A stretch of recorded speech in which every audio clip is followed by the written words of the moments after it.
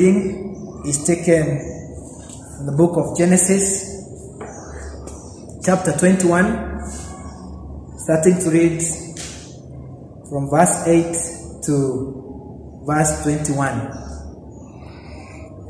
Hagar and Ishmael sent away. The child grew and was weaned, and on the day Isaac was weaned, Abraham held a great feast. But Sarah saw that the son whom Hagar the Egyptian had born to Abraham was mocking. And she said to Abraham, Get rid of that slave woman and her son, for that, wa- that, for that woman's son will never share in the inheritance with my son Isaac.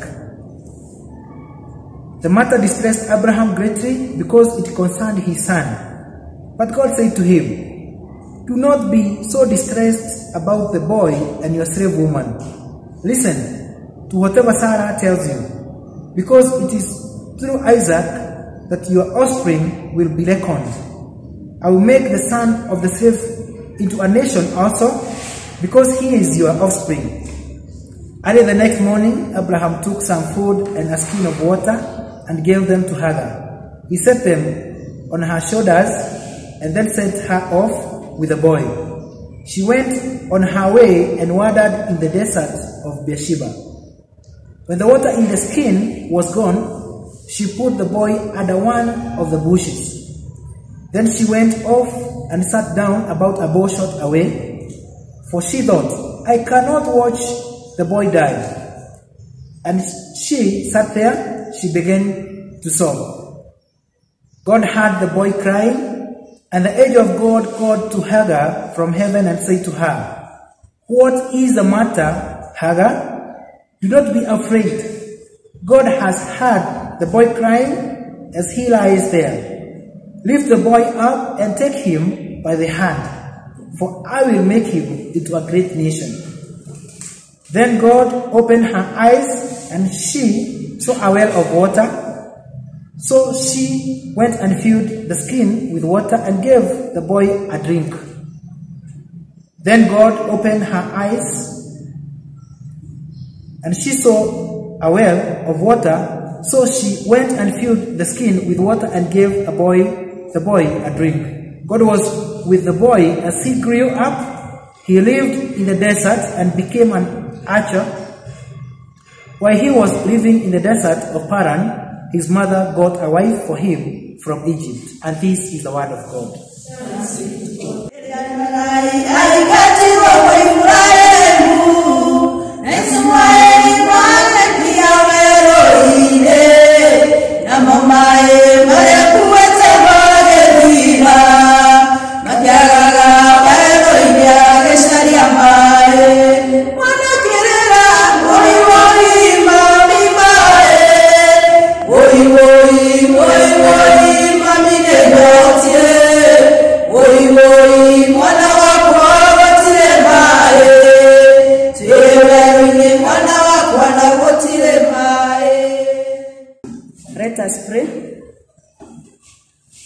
We thank you, our God and our Father, for you are God who sees.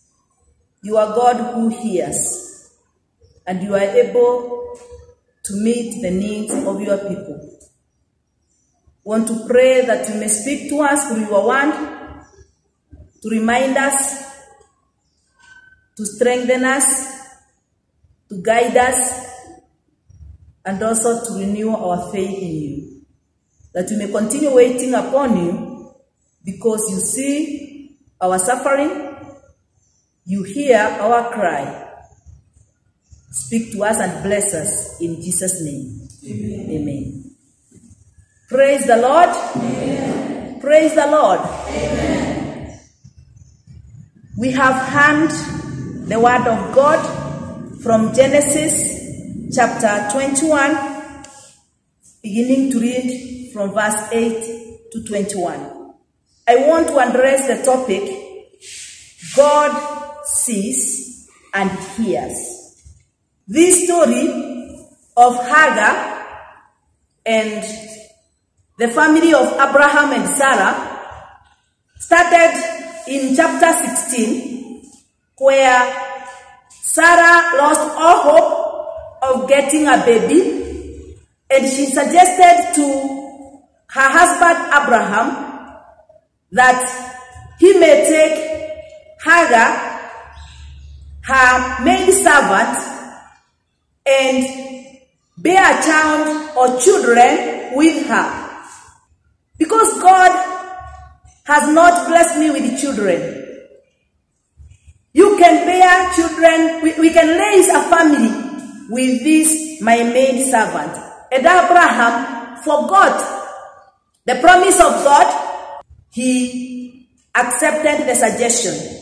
But once Hagar became pregnant, there was a problem in the family. And Sarah forgot her desire, forgot her promise as a human being to raise her family through Hagar. She expelled Hagar. But we see in Genesis uh, chapter 16 from verse 13, the angel of the Lord appeared to Hagar and asked her where she was going, and she was very honest and said, I've run away from my mistress. And the angel of the Lord commanded her to go back and she, the angel also told her that when she bore the child, she will call her Ishmael, meaning God who hears. And at that point, Hagar gave God a name, God who sees me. Bwana Yesu asifiwe. In African families, many African people have grown up in polygamous families. Polygamy is often justified and being as being acceptable to God by referring to Abraham and other servants of God who had more than one wife. Yet, those who defend this practice cannot ignore conflicts such as the one in Genesis 16 from verse 21. Although our God is compassionate, and will intervene in times of distress, as we see in Genesis chapter 16, verse 7 to 14, and chapter 21, verse 14 to 21, it is always good to keep in mind that polygamy was never God's idea.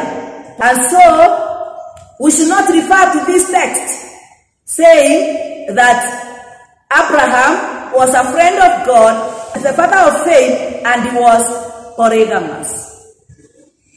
Abraham struggled in handling differences between his sons and the difficulty he had with sibling rivalry, which often is the case in polygamous families.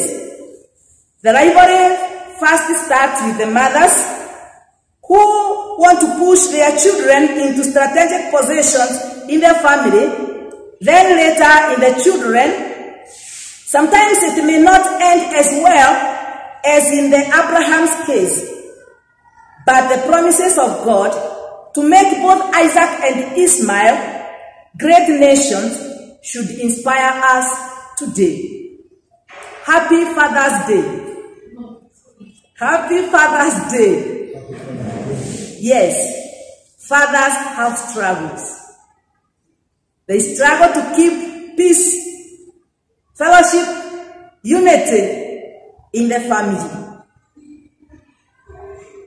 But it is good to remember that our Father in heaven has plenty for the Isaacs and Ismails of our time.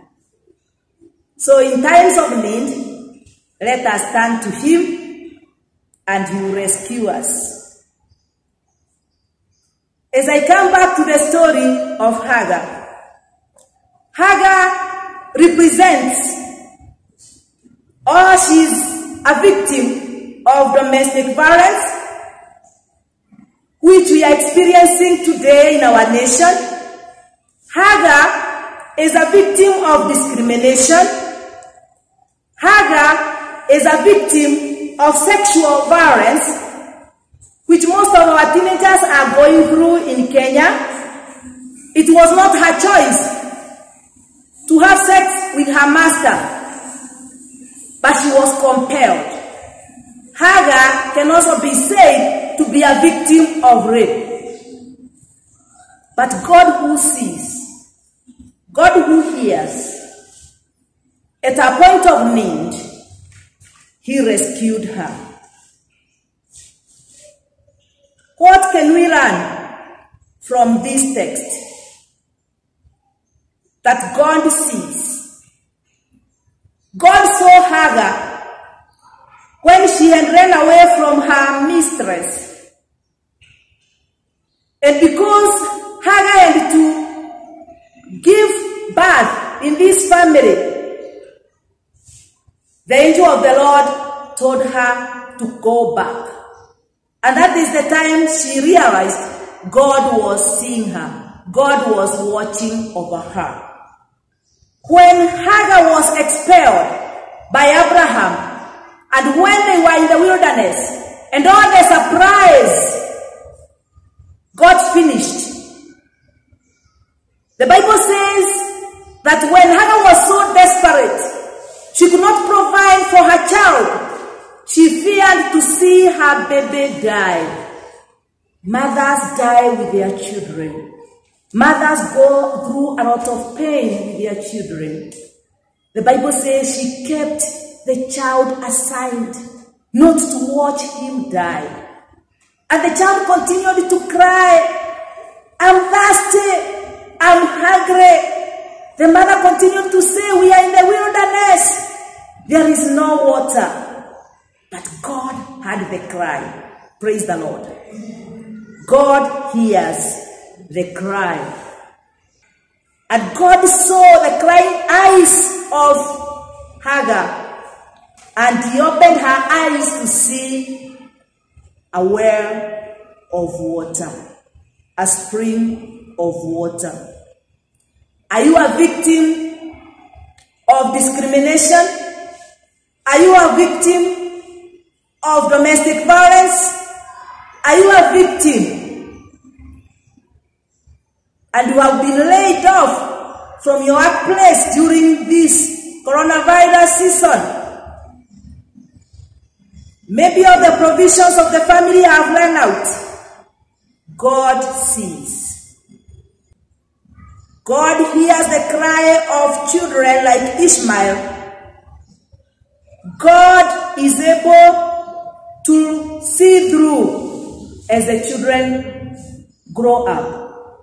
May the Lord help your eyes to see where He's leading you, to see where He's opening doors, to see where He is providing, to see where He is guiding you. Fathers, may the Lord help you to give you wisdom as you struggle with issues in your family, with issues in your house. May the Lord grant you wisdom so that all the conflict may end well. The Bible says God was with the boy as grew up.